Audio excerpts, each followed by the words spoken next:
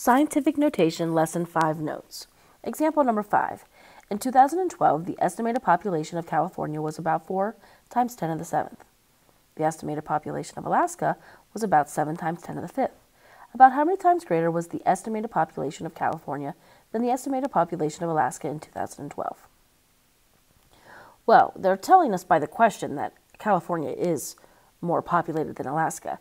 You know anything about geography, Alaska, the landmass is much greater than California.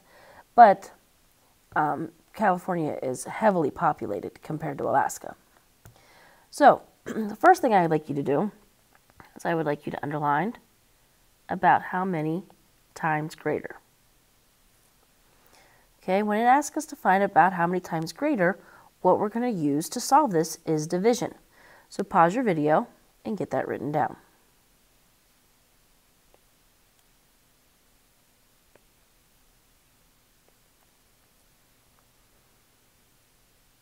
Okay. Well, if I'm going to use division, I'm going to take the larger number and divide it by the smaller number. I can't have a negative population. So I'm going to have to take the larger number divided by the smaller number. Well, when you look at these, which one is the larger number? Is it 4 times 10 to the 7th or if it's or is it 7 times 10 to the 5th? Well, it is 4 times 10 to the 7th. So go ahead and circle that what I just highlighted.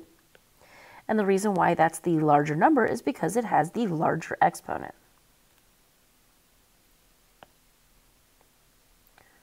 So pause your video, get that written down.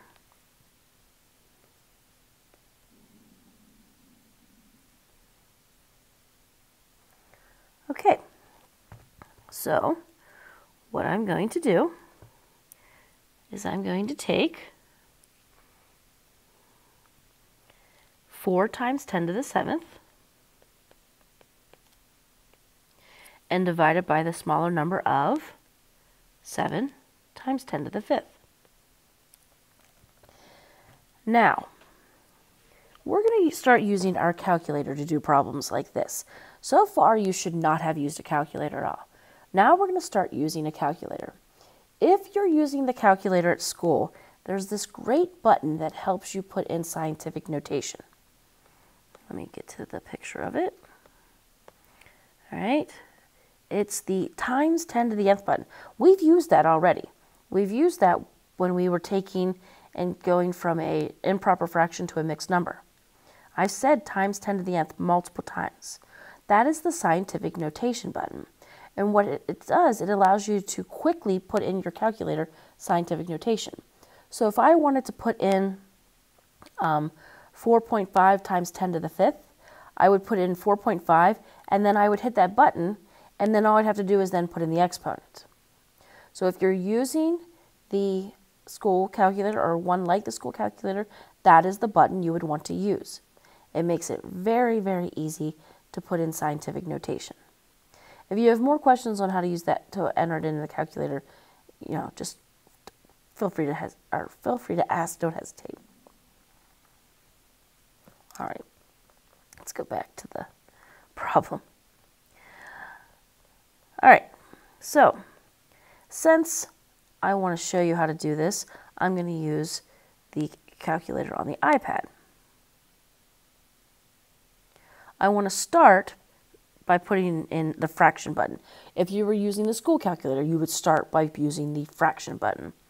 And then I would put 4 if you're using the school calculator, you would hit that times 10 to the nth button. Since I'm using this one, I'm going to put times 10. And then I have to go to the exponent there, put in a 7, over arrow, over arrow to get to the bottom. 7 times 10 to the fifth. Hit enter, and you get this decimal number. So sorry, that was about to show a commercial, so instead I'll just tell you what it is. So the decimal number we get is 57.1428, and then it keeps going. So 57.1428. Now it says what is the estimated? How many times greater is, was the estimated?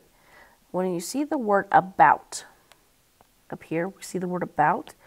That means we're not going to put down 57.1427 or 28 blah blah blah. We're going to make this a nice easy number to work with. All right. So since it's 57.1, that means it's closer to 57. So my final answer is going to be California's population is about 57 times greater than Alaska's population. So the key part of this answer is, first of all, the word about, about 57 times greater. If all you wrote down was about 57 times greater, I would take it. If you forget the word about, if you forget uh, times greater, then I'd be taking points off. You have to make sure you have about 57 times greater. So again, I took the larger number, divided it by the smaller number. I put it in the calculator, got the 57.1428. I kept going, and then I rounded it to 57 to get my answer. If you, if you have any questions on example number five, please let me know.